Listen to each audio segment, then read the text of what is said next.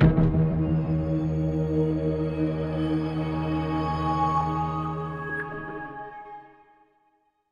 everyone. My name is Marco Palladino, and I am the CTO and co-founder of Kong.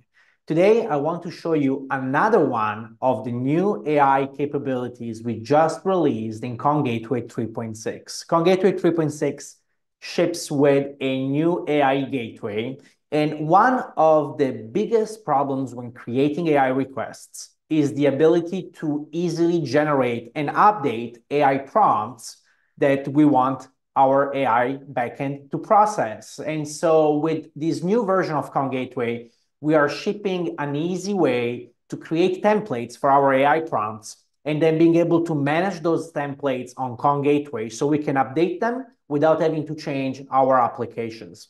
In this demonstration, I do have my AI prompt template plugin installed, and I did create many templates. I created a template for uh, all sorts of use cases, but the one I'm interested in is the translator template. As a matter of fact, if I go back to my declarative configuration for Kong, I've created a service and the AI prompt template plugin, which will consume uh, the OpenAI underlying LLM provider.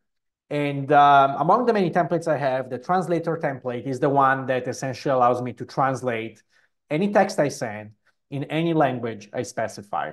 And so if I go into uh, Insomnia, the API client, to test this AI request, I can specify what template I want to use. I can uh, specify what properties I want to uh, use for the template. And in this case, I want to translate that I would like to eat a lot of food, but in Spanish. And if I make this request with OpenAI, we will translate that um, text. Obviously, this is quite useful because prompts will need adjustments over time, and we don't want to ship a new application every time that happens. And with this plugin, we can easily create templates to make that work for us. Also, Uh, with templates, we can have a set of pre-approved prompts that we want our applications to send to make sure that no application has a chance to send a prompt that's not being approved or that possibly could be malicious. So it could be used for ease of use in generating prompts, but can also be used for compliance and for security purposes as well.